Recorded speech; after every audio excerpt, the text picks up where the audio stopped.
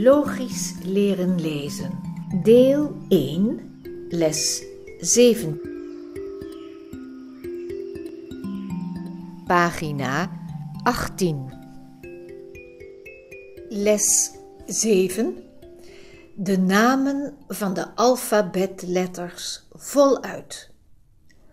Voor en na of achter een letter. Links en rechts van een letter. Wat zie je hieronder?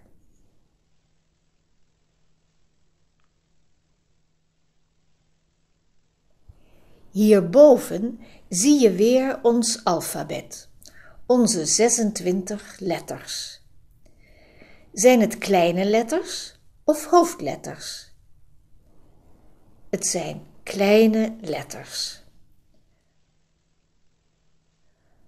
Als we de letter L schrijven, waar is dan de plek voor die L? En waar is de plek na die L of achter die L? Voor de L, na. Voor de L, achter. Net als het links en rechts van een letter F als je naar die letter kijkt. Links de F, rechts voor de F, na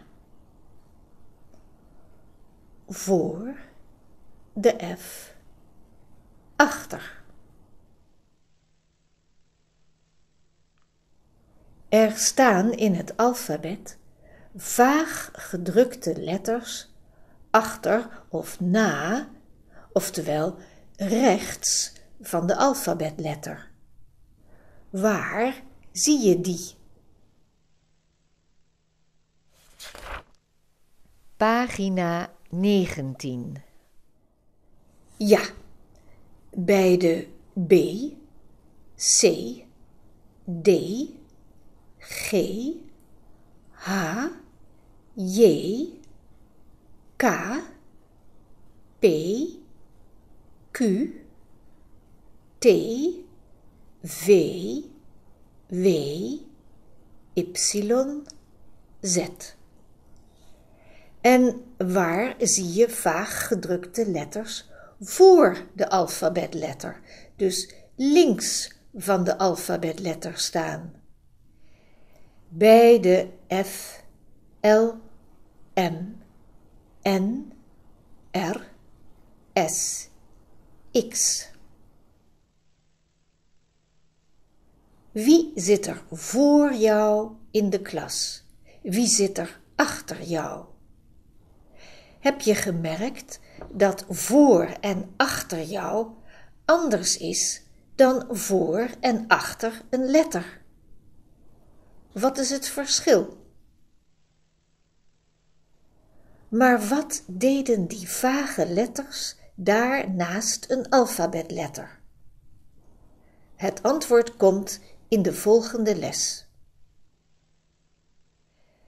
Ga je nu eerst oefenen met het hardop vertellen van de precieze plaats van een letter in woorden die jij uitkiest? Doe dat heel duidelijk. Dus zo. Deze letter, en dan jouw letter, staat voor of achter of na de letter en dan weer een andere letter. En deze letter, jouw letter dus, staat links van of rechts van de letter en dan de andere letter.